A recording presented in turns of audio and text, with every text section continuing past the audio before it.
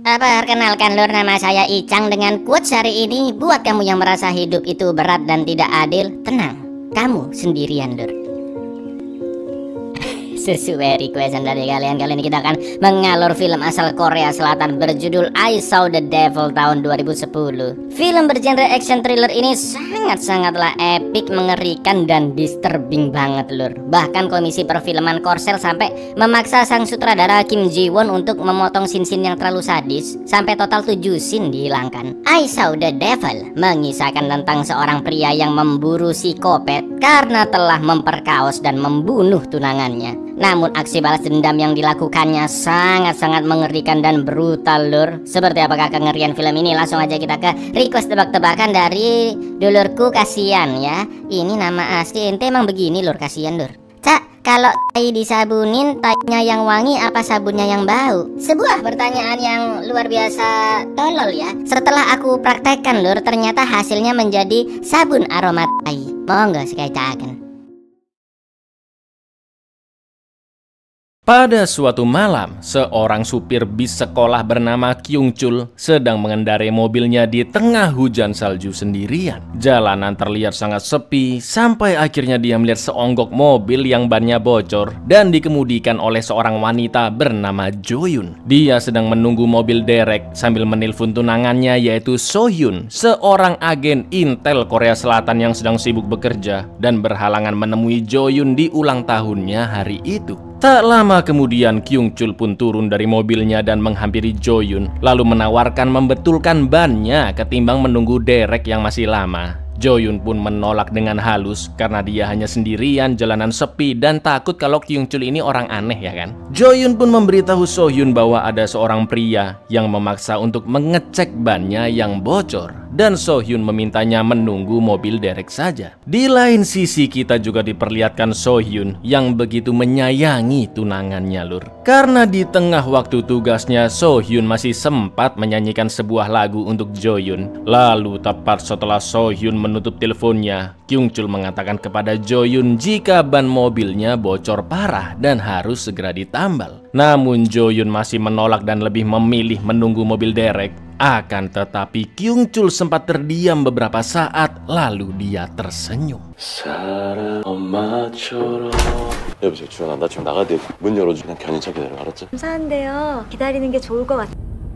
Suasana pun begitu mencekam, bukan hanya karena gelapnya malam di tengah salju, tapi Joyun yang sendirian juga merasa takut karena mobil Kyung Chul masih belum beranjak sama sekali. Dan inilah aku melihat sang iblis. Tak kasih tahu aja lur, ini salah satu film yang dulu banget aku habis lihat filmnya tak hapus, saking sadis dan mengganggunya.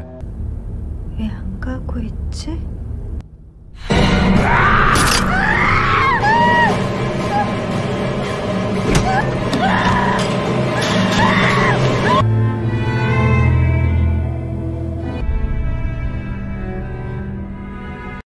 Jo Yun tersadar di dalam sebuah rumah dalam keadaan telanjang dan terbungkus plastik. Sementara Kyung Chul sibuk memilih pisau dan mengatakan jika kulit Jo Yun sangatlah lembut, jadi prosesnya akan berjalan dengan mudah. Di sisa-sisa kesadarannya, Jo Yun terus mengiba agar dirinya dibebaskan karena sedang mengandung. Tapi Kyung Chul tidak menggubrisnya sama sekali. Dia hanya terdiam dan langsung menghujamkan pisaunya ke leher Jo Yun dan mulai memutilasinya. Sumpah sih kopet banget ini orang mana sambil ngopi lagi. Di tengah proses mengerikan itu, cincin tunangan Joyun terlepas dan masuk ke dalam saluran.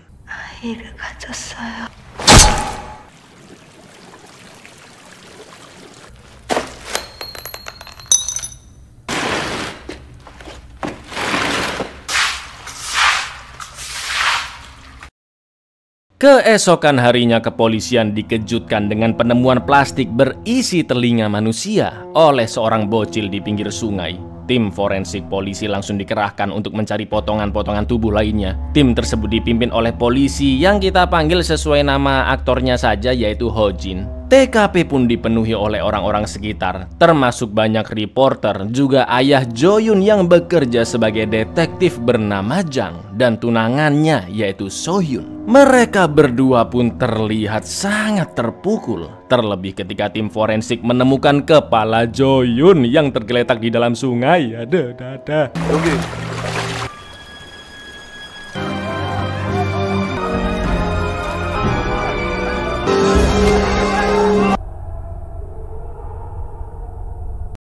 Sungguh ironis, Jang dan Sohyun bekerja di bidang keamanan, namun Joyun meninggal dengan sangat-sangat tragis di tangan seorang pembunuh. Terutama Sohyun yang merasa bersalah karena sering berhalangan bertemu dengan tunangannya, khususnya di hari ulang tahun Joyun yang menjadi malam terakhirnya hidup di dunia. Di dalam tangis dan doanya, Sohyun pun berjanji akan membalas pelaku pembunuhan 10.000 kali dari rasa sakit yang dialami Joyun. 애비란 인간이 30년 넘게 딸내미 하나 간수모 정말 미안하다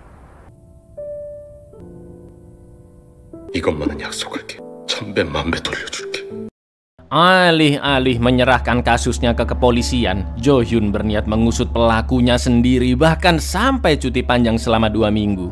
Dari empat orang terduga yang dipilih oleh kepolisian atas kasus-kasus kriminal mereka sebelumnya yang mirip dengan kasus ini, baik yang sudah terbukti maupun yang belum. So Hyun pun menemui dua terduga di antaranya, yang pertama Sohyun mendatangi langsung di kosannya, mencekiknya dan menyerang piton sawahnya dengan palu. Lalu melaporkannya ke polisi karena dia terbukti membunuh gadis dua bulan sebelumnya. Sementara terduga yang kedua, Sohyun mencegatnya di jalan dan langsung menyerangnya dengan sangat brutal. Tapi dari kedua terduga tersebut, tidak ada satupun dari mereka yang mengenal foto TKP mobil di mana Joyun telah dibunuh. 이거 기억나?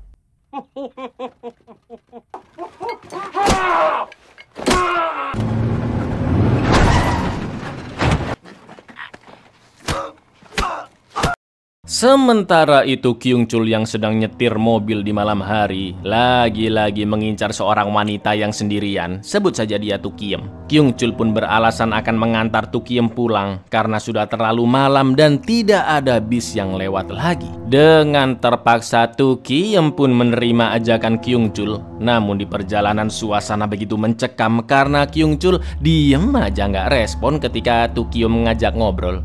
Lalu 띠바 띠바 학원 찬가 봐요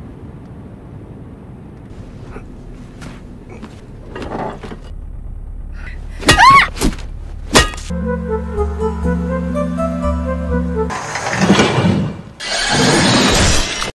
Terduga berikutnya yang didatangi Sohyun adalah Kyung Chul. Dia mendatangi rumah Kyung Chul sesuai yang tertulis di laporan kepolisian dan hanya bertemu dengan ayah, ibu, juga anak Kyung Chul. Agar tidak curiga, Sohyun mengaku sebagai petugas asuransinya Kyung Chul, lalu menunjukkan foto Kyung Chul. Ibunya pun yakin jika pria di foto itu memang anaknya, namun dia merasa takut melihat wajah Kyung Chul yang sekarang begitu mengerikan. Karena usut punya usut lur, Kyung Chul kabur meninggalkan keluarganya begitu saja dan sudah lama tidak ada kabar. Jadi nggak mungkin dia menyiapkan uang asuransi untuk ayah ibunya ya kan? Kedua ortunya tidak tahu di manakah Kyung Chul sekarang. Namun untungnya anak kandung Kyung Chul yaitu Sangwon tahu di mana lokasi kediaman ayahnya dan So Hyun pun langsung OTW ke sana.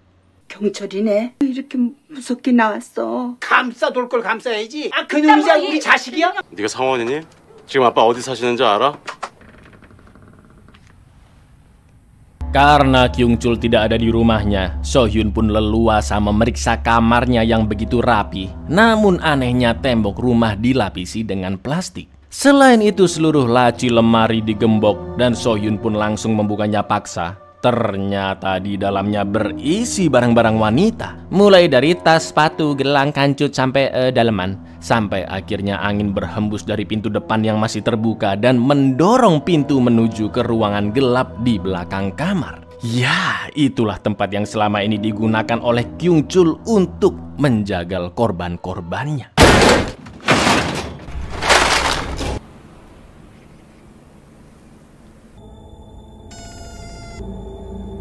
So Hyun pun hanya terdiam melihat lantai yang penuh bekas darah hingga akhirnya dia menemukan sesuatu yang familiar di dalam saluran. Tak lain tak bukan adalah cincin tunangannya Joyun. Marah, dendam, sedih, terpukul dirasakan oleh Sohyun karena tunangannya telah dibunuh oleh terduga ketiga yaitu Kyung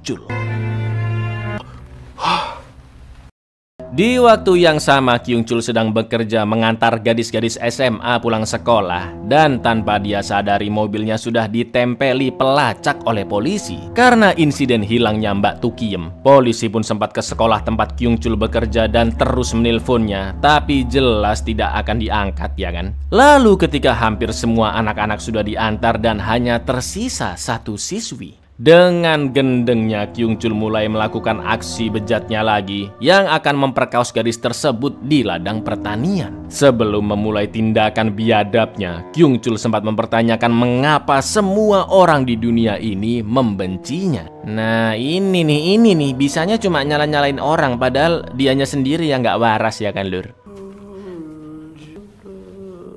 야 씨발 내가 너 좋아하면 것들이 왜 나한테 지랄들이야 이 개. Tak lama kemudian Kyung Chul mendengar suara seseorang di kejauhan. Yang ternyata itu adalah So Hyun. Dan akhirnya mereka berdua berhadapan secara langsung di sana. Gak pakai lama Kyung Chul pun mengambil celurit dan langsung menyerangnya duluan. Sementara gadis SMA tadi segera kabur dari tempat itu. 만나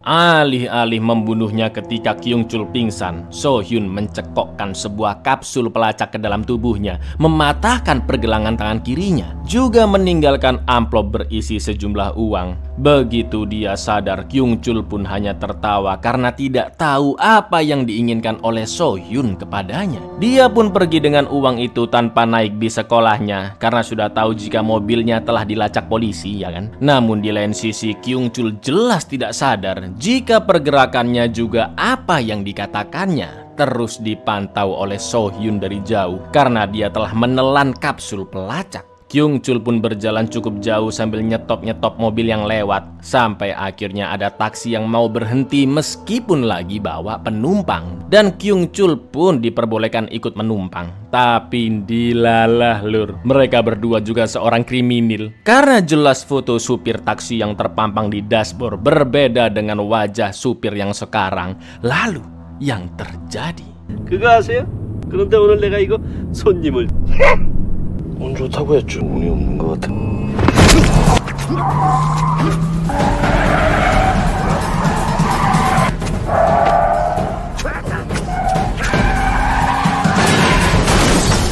Sangat-sangat brutal dan psycho memang Kyung Chul ini lur. Dia berhasil membunuh dua orang tersebut dan ketika membuka bagasi Kyung Chul menemukan seonggok mayat hasil pembunuhan kedua orang tadi. Juga sebuah tas berisi baju bersih. Kyung Chul pun langsung memakai baju tersebut membersihkan darah-darah di badannya sekalian membuang tiga mayat itu di pinggir sungai.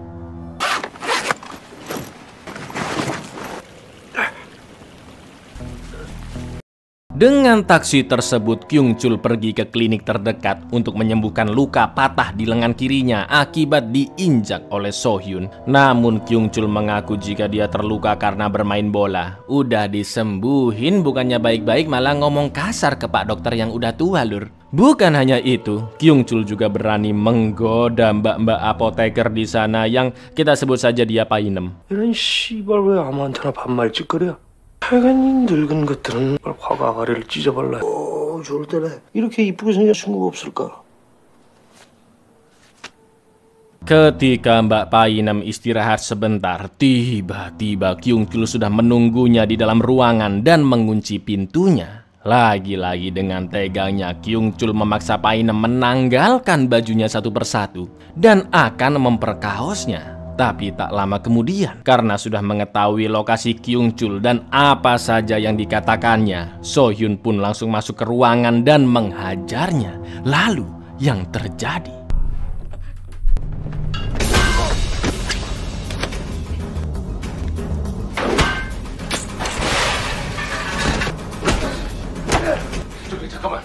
Seperti sebelumnya Lur, So Hyun sengaja tidak membunuhnya dan akan menyiksa Kyung Chul yang sudah semakin lemah, lalu meminta Mbak Painam untuk menyembuhkan lukanya nanti. So Yun sempat mengatakan kepada Kyung Chul bahwa ini hanyalah permulaan karena mimpi buruknya akan menjadi lebih mengerikan. So Yun pun akhirnya memotong urat di pergelangan kaki kanan Kyung Chul lalu meninggalkannya begitu saja di suatu tempat. Sin-sin kayak gini nih lulur yang mengganggu. Udah di zoom, dirobeknya pelan-pelan lagi ya.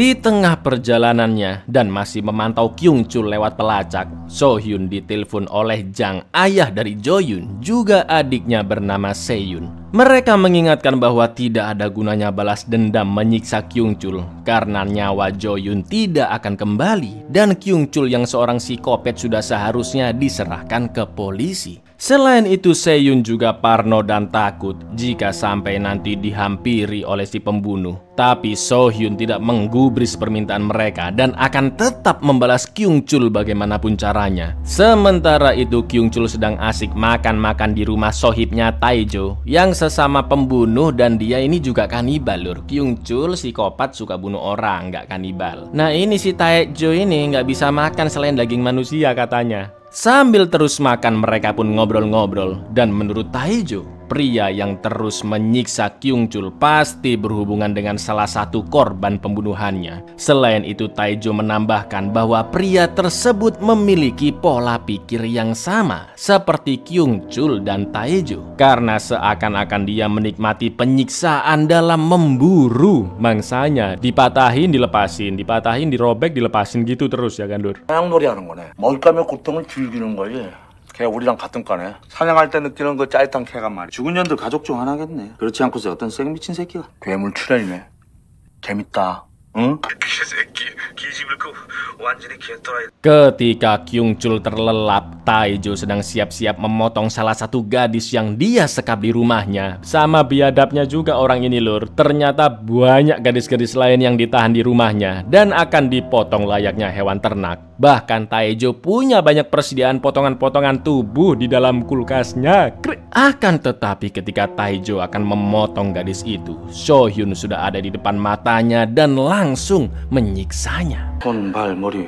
감어? 안 보는 게 낫다. 어?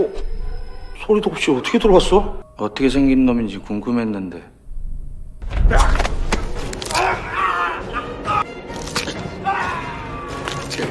Taejo pun diikat dan akan dibunuh. Namun tiba-tiba Kyung Chul datang dengan membawa shotgun dan langsung memburu Sohyun yang terus menghindar kabur dari sana. Untungnya Pak Sohyun agen Intel, jadi urusan kayak begini biasalah buat dia lur. Sementara itu di dapur, Taejo masih berusaha melepas obeng yang ditusuk ke tangannya. Namun ternyata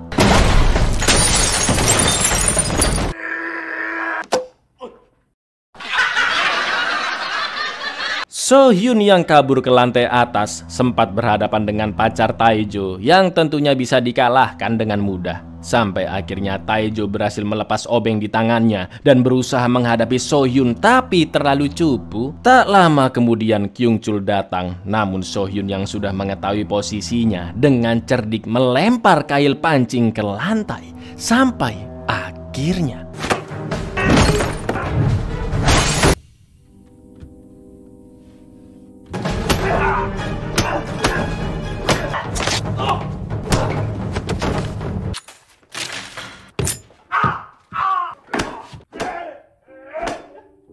So Hyun pun melaporkan rumah penjagalan manusia itu ke kepolisian dan Taejo beserta cememeunya yang terluka parah diobati dulu ke rumah sakit. Mengetahui tindakan So Hyun, Pak Ketua Satuan Polisi Ho Jin menyuruh ayah Jo Yun yaitu Jang untuk menghentikan aksi So Hyun karena tindakannya dapat membahayakan keluarganya termasuk Seyun adik dari Jo Yun. Di lain sisi dua hari setelah kejadian di rumah terkutuk tadi, Kyung Chul dirawat secara diam-diam di klinik intelijen atas permintaan So Hyun sendiri. Bawahannya pun bertanya mengapa So Hyun tidak menyerahkan Kyung Chul saja ke polisi. Lalu Sohyun menjawab jika masih ada perasaan yang mengganjal di hatinya dan Kyung Chul harus membayar apa yang telah dia lakukan terhadap Joyun. Lalu bawahannya membahas soal kapsul pelacak yang diberikan ke Kyung Chul yang bisa keluar dengan mudah ketika dia ee. Sohyun pun langsung menyuruhnya berhenti berbicara karena bisa saja Kyung Chul sudah sadar dan mendengar obrolan mereka.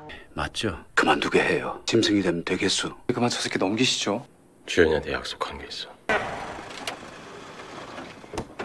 그 캡슐 감도 괜찮. 설사 쭉쭉하지 않는 센 거 한 방 맞고 정신. Lagi-lagi Sohyun membebaskan Kyung Chul dan membuangnya di suatu tempat terpencil. Namun ternyata lur, Kyung Chul sadar 100% saat berada di klinik dan mendengar semua percakapan di ruangan itu. Mulai dari siapa Sohyun, tunangannya Joyun yang menjadi korban, berikut alamat dan keluarganya, sampai cara membuang kapsul pelacak dengan cara ee. Kyung Chul pun menertawakan Soyun dan mengatakan jika seharusnya dia dibunuh saat di klinik, bukan malah dibebaskan lagi. Selain itu, Kyung Chul pun juga memberitahu bahwa sebelum Joyun dibunuh, dia sempat mengiba-iba karena sedang hamil. Yang ternyata Sohyun baru mengetahui kehamilan tunangannya tersebut, lur. 넌 진즉에 날 죽이지 않은 걸 땅을 치고 후회하게 될 거야. 장주연이 연희동 사는 장주연 맞지? 그 전에 그러더라. 임신했다고. 알고 있었냐? Kyung Chul merampas obat pencahar sebotol juga membunuh bapak apoteker di sana. Lalu dia menenggak obat itu sebanyak-banyaknya dan pup di toilet terdekat yang akhirnya kapsul pelacak itu keluar dari tubuh Kyung Chul. Mana dikelihatanin lagi ngambil kapsul di gundukan ee-nya. Nggak bisa dikelihatanin lur, maaf ya. Sedangkan Sohyun sayangnya terlambat sampai di apotek dan sibuk menyelamatkan Pak Apoteker yang kehabisan darah karena luka sayat di lehernya.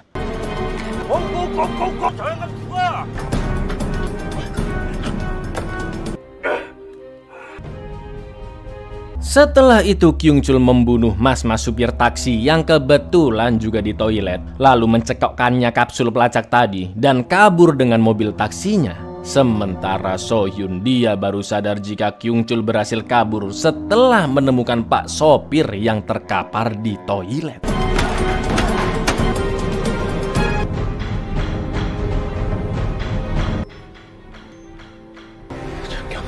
Di rumah sakit ketika Ho Jin sedang memperhatikan Taejo dan pacarnya yang dibawa ke UGD setelah diringkus dari TKP rumah kanibalnya, dia dikejutkan dengan telepon dari Kyung Chul yang menyerahkan diri ke polisi. Sedangkan Sohyun yang kehilangan jejak Kyung Chul pergi ke rumah sakit dan bertanya ke Taejo ke manakah kira-kira sohibnya itu akan pergi. Sambil tertawa, Taejo mengatakan jika Kyung Chul akan membalaskan dendamnya dengan menargetkan keluarga Joyun selanjutnya. Baru setelah itu dia pun menyerahkan diri ke polisi.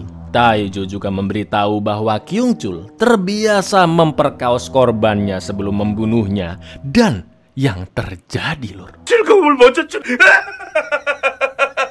즐거움을 먼저 주. 고통 주기 전 즐거움을 먼저 주. 네 여자의 가족들. 웃긴가 보지? 평생 웃는 얼굴로 만들어 줄게.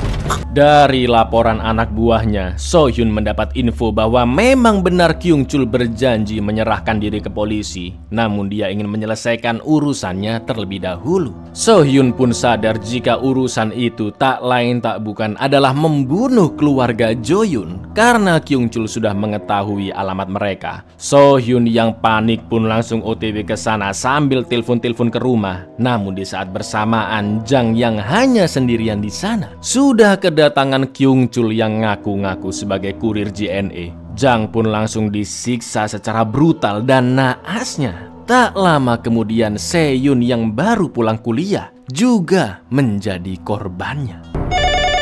택배 왔어요. 이렇게? 이렇게?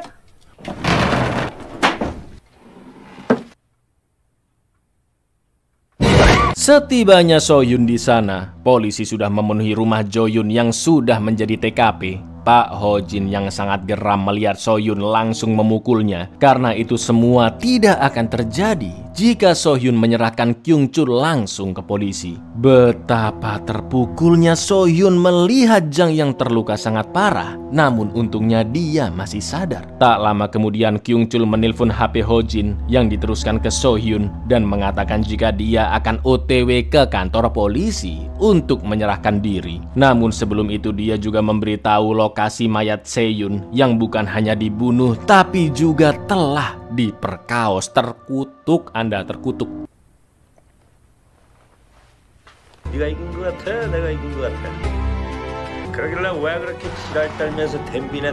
Kyung Chul sudah sampai di depan kantor polisi dalam kondisi berlumuran darah dan melambai-lambaikan pisaunya. Kyung Chul pun mengangkat kedua tangannya seakan-akan mendeklarasikan kemenangannya terhadap Sohyun karena sebentar lagi dia akan dipenjara dan Sohyun akan menderita seumur hidupnya karena dia tidak bisa membalaskan dendam lagi. Pak Ho Jin beserta timnya telah bersiap menangkapnya. Namun tepat ketika mereka akan menyergap, tiba-tiba Sohyun datang dan langsung menyeret Kyung Chul masuk ke mobilnya.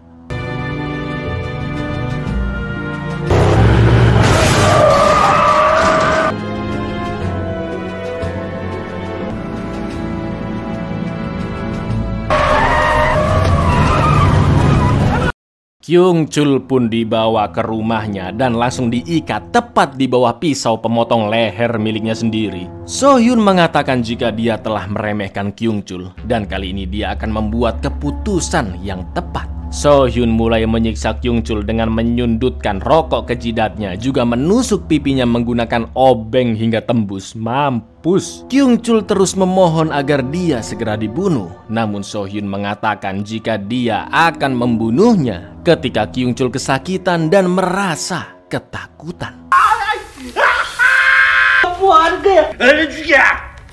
뭐하 진짜 복수지. 그런 말 너도 많이 들었지. 살려달라는 말. 나 죄값 받을게 그러니까 이제 Untuk beberapa saat Sohyun yakin jika Kyung Chul mulai ketakutan dan memohon untuk dilepaskan. Tapi ternyata lur, itu semua hanyalah akting belaka. Karena Kyung Chul tidak tahu apa itu rasa sakit dan apa itu ketakutan. Inilah jiwa psikopat yang mendarah daging lur. Kyung Chul terus mencari korbannya hanya demi kepuasan semata. Meski polisi sudah melacaknya, meski Sohyun sudah mematahkan bagian-bagian tubuhnya, bahkan sekarang akan membunuhnya. Sama seperti perkataan Pak Jang bahwa seorang psikopat tidak akan bisa diubah. Setelah itu Kyung Chul juga mengaku telah menang melawan Sohyun karena bukan hanya membunuh tunangannya Joyun tapi juga telah membunuh keluarganya yaitu Pak Jang dan juga Seyun. 태워둘 수 있는가? 난 이미 찼어 고통 같은 건 몰라 두려움 같은 것도 몰라 난 네가 죽은 후에도 배웠으면 좋겠다. Setelah itu Sohyun meninggalkan Kyung Chul dalam keadaan menggigit tali yang diikatkan ke pintu di mana jika pintunya terbuka maka pisau pemotong yang berada tepat di atasnya akan jatuh ke batang lehernya karena ternyata Sohyun sudah menghubungi kedua orang tua Kyung Chul beserta putranya untuk datang menemui Kyung Chul ke rumahnya. Tepat ketika Sohyun pergi dari sana, tiga anggota keluarga Kyung Chul pun sampai. Dan Sohyun yang sudah meletakkan alat pelacak di sana, akhirnya mendengar suara Kyung Chul yang sangat-sangat ketakutan. Karena keluarganya yang sudah ditinggalkan bertahun-tahun akan mengetahui identitasnya. Bahkan ayah, ibu, dan anaknya sendirilah yang akan memenggal kepalanya. Kyung Chul terus berteriak melarang membuka pintunya. Namun suaranya tidak begitu jelas karena dia harus menggigit tali. Bapaknya pun terus berusaha membuka pintu. Sedangkan anak dan ibunya tak henti-hentinya memanggil nama Kyung Chul karena ingin segera menemuinya. Sampai akhirnya.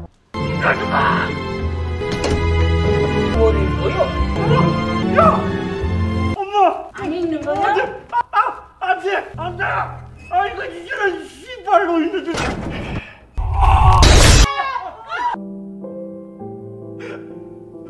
Setelah semua yang terjadi, di tengah amarah dan kesedihannya, terlihat Sohyun yang menangis sekaligus tertawa. atas apa yang telah diperbuatnya. Dia tertawa karena balas dendamnya telah berhasil dan membuat Kyung Chul sangat ketakutan sebelum kematiannya. Namun di lain sisi Sohyun menangis karena dia tahu nyawa tunangannya Joyun tidak akan kembali. Bahkan keluarga Joyun juga ikut terseret dalam kematian. Sohyun tahu bahwa balas dendam tidak akan pernah bisa memperbaiki rasa sakit karena kehilangan dan hanya berujung dengan penyesalan bahkan merusak mentalnya perlahan-lahan.